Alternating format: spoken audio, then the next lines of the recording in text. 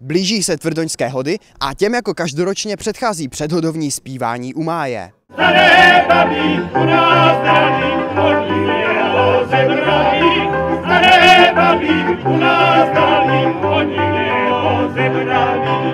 Předhodovní zpívání je tradice, která ve většině obcí k hodům prostě patří. Sejdou se místní i přespolní mužácké i ženské sbory a jdou si zaspívat, popít vínko a užít si neobyčejnou atmosféru Jižní Moravy. Tak jak vypadá letošní předhodovní zpívání? No já myslím, že jsme tady od začátku a že se nám to líbí. Zpěváci se sešli až na ten jeden sbor, bohužel, ale nemoc je nemoc, s tím nic neuděláme. Diváci se zešli, vypadá to, že se dobře baví, pěvecké výkony jsou výborné. Já myslím, že je to dobrý začátek hodu. Byly tady domácí sbory, mužský sbor Kosticko-Tvrdonský, Tvrdonsko-Kostický, jak jsem říkala na začátku.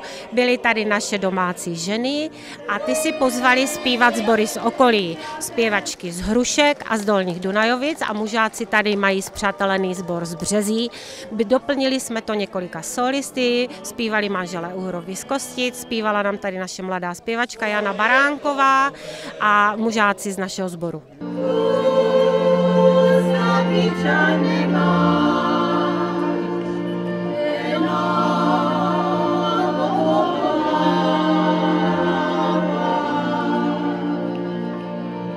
Odkud jste, můžete nějak představit váš sbor? My jsme místní, my jsme tvrdončanky a zpíváme už 37 roků. My jsme jako pět z těch starších zůstalo z toho původního ženského sboru se na, zapojilo, takže my zpíváme opravdu 37 roků a mladší postupně přicházeli, takže... No a jak se vám zpívá s těma jako mladýma zpěvačkama? No mladé zpěvačky jsou jedinečné, protože já si myslím, že mládí a stáří patří normálně k životu a patří taky k folkloru, patří k sobě, protože mladí mají elán, staří mají zkušenosti a vzájemně se to velice dobře doplňuje. Co jste si připravili na letošní předhodovní zpívání? Na předhodovní zpívání jsme si připravili tři písničky.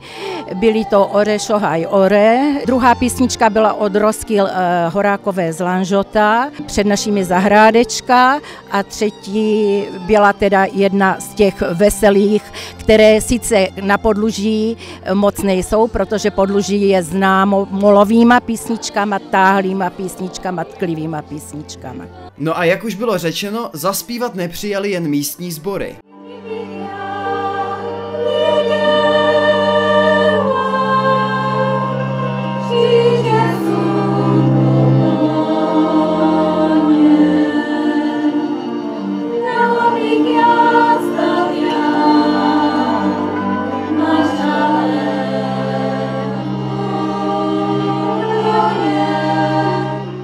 Odkud jste?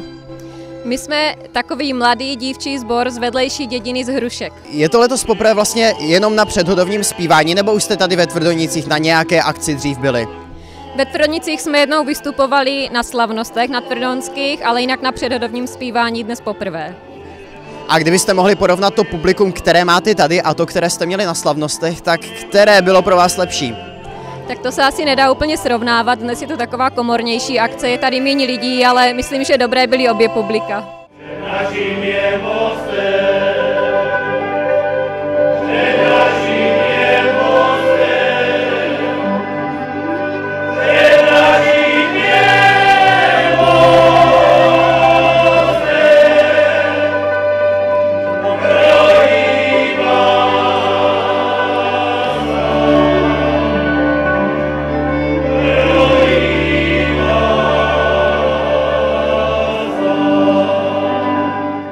Kromě několika sborů na předhodovním zpívání vystoupila i Jana Baránková, nadějná mladá zpěvačka, která již pár let sbírá krásné úspěchy na různých akcích a soutěžích. Uh, jsi za to ráda, že máš takové úspěchy? Moc ráda, má, já soutěžím nějak už tak jako 6 roku, už jsem si na to zvykla, takže už v po. Jsem moc ráda. A jak se ti vlastně zpívá takhle před velikým publikem? Tak já vždycky ještě před tím vystoupením se hrozně bojím, ale potom už jsou v poho, když už zpívám, pak už si to užívám. Které bylo asi tak nejlepší vystoupení, které jsi měla? Letos tak jsem zpívala uh, v jedné kategorii na tulipánu Boženy Šebetovské v Předslavě. Tam jsem byla v té kategorii nejmladší a myslela jsem, že prostě všechny holky by tam byly takové úplně boží. Já jsem tam byla nejmladší a prostě očekávala jsem nějak tak třetí místo, ale vyhrála jsem první. Já jsem brečela štěstím. Tak to bylo asi nejlepší se tím.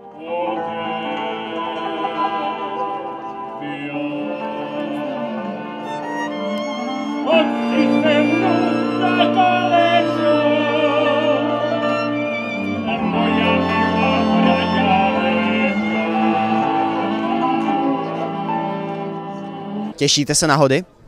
Já se určitě těším na hody, já mám hody velice ráda, eh, chystáme se, vidíte, že tady zelené je nachystané, náměstí je nachystané, chystám kroje, budu mít krojovaný pár, takže já za sebe se určitě těším a doufám, že ty diváci, kteří jsou tady dnes, tak se tady ukáží v některém z následujících dní.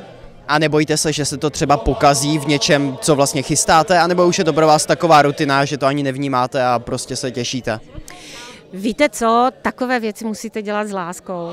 A rád. A jakože někdy něco nevíde, neklapne na 100%, jak si člověk představuje, to je jedno, ono si to žije takovým svým vlastním životem, ta tradice eh, tady je a my jsme za ní rádi, že tady je, snažíme se ji udržovat, snažíme se jí pomáhat a rozvíjet. A Jestli někdy se uděje něco jiného, no teď je to jedno. Hlavně, aby se lidé bavili a aby přišli. Předhodovní zpívání už je za námi a my už se těšíme, co nám nabídnou samotné tvrdoňské hody. Ale to už uvidíte v jiné reportáži. Pro RTV je Aleš Pojar.